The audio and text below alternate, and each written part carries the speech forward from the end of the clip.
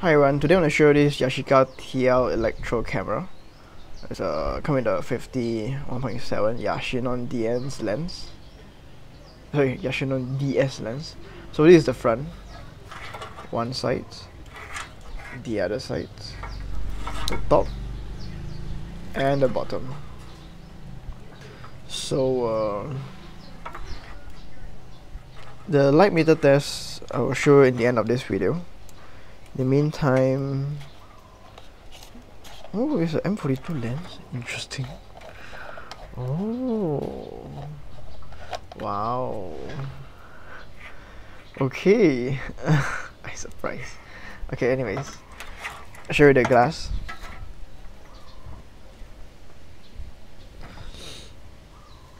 Okay the side. Focusing is nice back end, front end. Alright.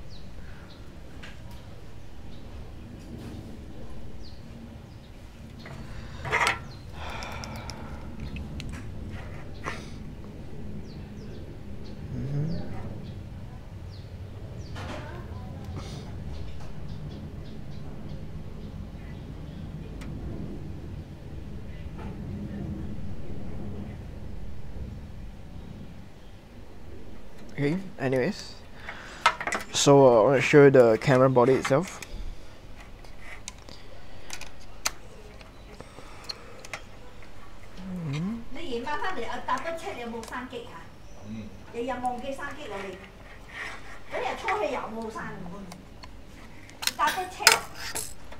Okay. So, uh, let's start with 1000 shutter. Okay. 500.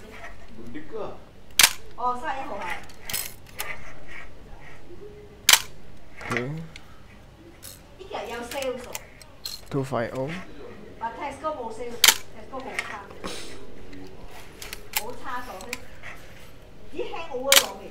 Okay, there's uh, just was 125,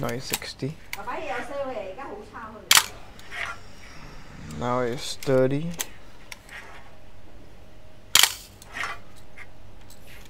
Now it's 15. 108. 104. Half.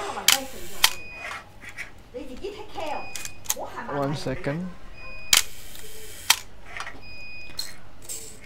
This bulb mode. Okay, so all the speeds work. And uh, yeah, there you go. Selling off this camera.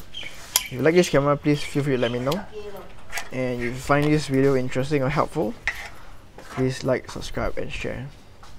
Thank you everyone for watching this. See you. Bye. God bless.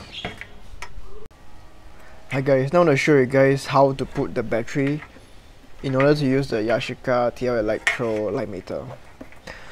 So I saw online in the user manual on Butkus that this light meter can only tolerate uh, voltage below 3 volts.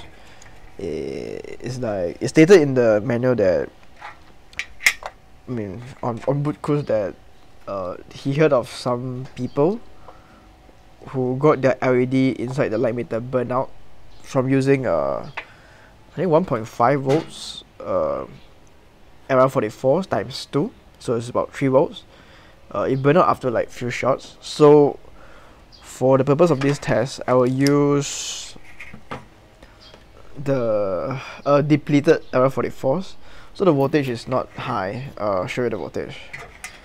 So all you need is that to have LR44s which are already depleted. Or else you can also buy the Wein cell batteries from me like which I sell. I also sell the Wein cell uh, PX uh, 675 I sell those also so you know I sell uh, you can see lah LR44 better for your the Wein cell the Wein cells uh, it's about 20 plus ringgit each. So yeah so for both of these batteries add together is below 3 volts so it should be safe. Mm, show you the voltage. So it's 2.85 so these are depleted LR44s which I will put in. Uh, the cap says that it's negative.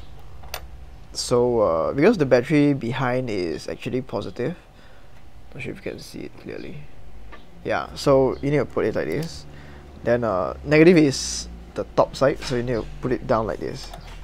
So in such a way. Okay. Okay. So close the cap.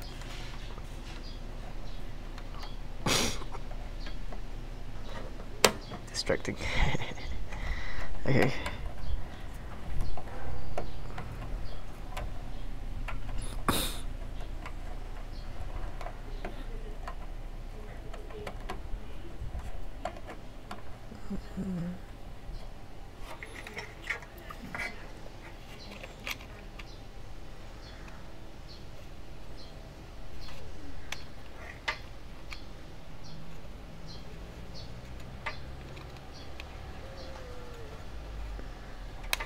It's a bit tricky to screw it in. Alright, so I saw the manual. At first I thought I thought it's not working, but then I saw the manual that you actually need to actuate the light meter in order for it to work. So you need to press it down, so then you can see the light meter indicator. So I'll show it to you now. I'm not sure if you can see it. So uh, wait, I haven't actuated yet.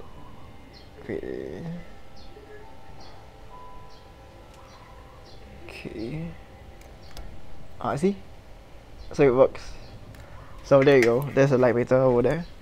And um, yeah, so remember you need to actuate it in order to like turn on the light meter for it to work lah. So actuate to work, actuate to work.